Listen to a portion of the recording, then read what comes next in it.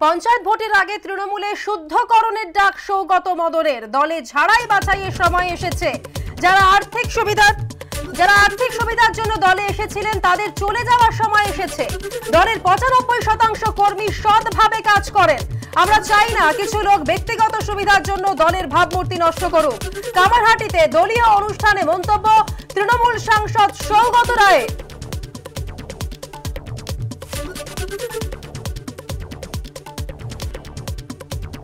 পঞ্চায়েত ভোটের আগে তৃণমূলে শুদ্ধকরণের ডাক, সৌগত ও মদনের। দলে ঝাড়াই বাছাইয়ের সময় এসেছে। যারা আর্থিক সুবিধার জন্য দলে এসেছিলেন, তাদের চলে যাওয়ার সময় এসেছে। অন্যদিকে পঞ্চায়েত ভোট হিংসামুক্ত করার ডাক মদন মিত্রর। তিনি বলেন, মেরে পঞ্চায়েত নেওয়া যাবে না। নেতাদের ভুল হলে কর্মীরা বলুন। এমন কিছু করবেন না যাতে একজনের জন্য দল কালিমা লিপ্ত হয়। কামারহাটিতে দলীয় অনুষ্ঠানে এমনই মন্তব্য করেন বিধায়ক মদন মিত্র।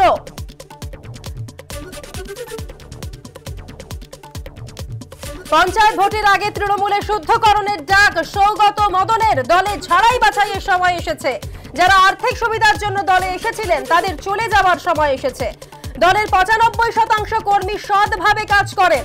আমরা চাই না কিছু লোক ব্যক্তিগত সুবিধার জন্য দলের ভাবমূর্তি নষ্ট করুক। কামারহাটিতে দলীয় অনুষ্ঠানে মন্তব্য তৃণমূল সাংসদ সৌগত রায়ের অন্যদিকে পঞ্চায়েত ভোট হিংসামুক্ত করার ডাক দিয়েছেন মদন মিত্র। মেরে পঞ্চায়েত নেওয়া যাবে না, নেতাদের ভুল হলে কর্মীরা বলুন, এমন কিছু করবেন না যাতে একজনের জন্য দল কালিমা লিপ্ত হয়। কামারহাটিতে দলীয় অনুষ্ঠানে মন্তব্য বিধায়ক মদন মিত্রর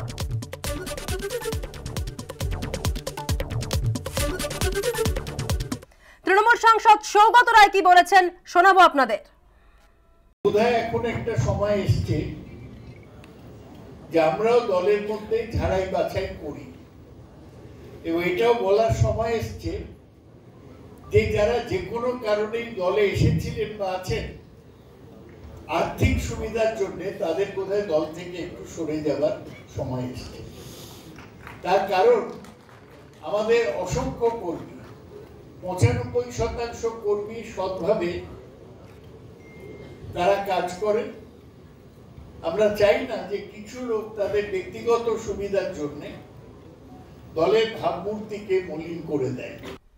এদিকে পঞ্চায়েত ভোট হিংসামুক্ত করার ডাক দিয়েছেন মদন মিত্র। তিনি বলেছেন, মেরে পঞ্চায়েত নেওয়া যাবে না। নেতাদের ভুল হলে কর্মীরা বলুন, এমন কিছু করবেন না যাতে একজনের জন্য দল কালিমা লিপ্ত হয়। কামারহাটিতে দলীয় অনুষ্ঠানে এমনই মন্তব্য বিধায়ক মদন মিত্রর। যদি আমরা একসঙ্গে থাকতে পারি, তাহলে আমরা আবার এক ঝাঁক ফিরে আসব। খালি একটা অনুরোধ, ওই মেরে পঞ্চায়েত নিয়ে নেব। এই চিন্তা থেকে সরে যান। মেরে পঞ্চায়েত নিতে চাই না। কোথাও যদি কোনো ভুল হয়, ডাইরেক্ট কর্মীরা এসে নেতাকে বলুন, এই কাজ আপনি ঠিক করেননি, এটা আপনার অন্যায় কাজ হচ্ছে।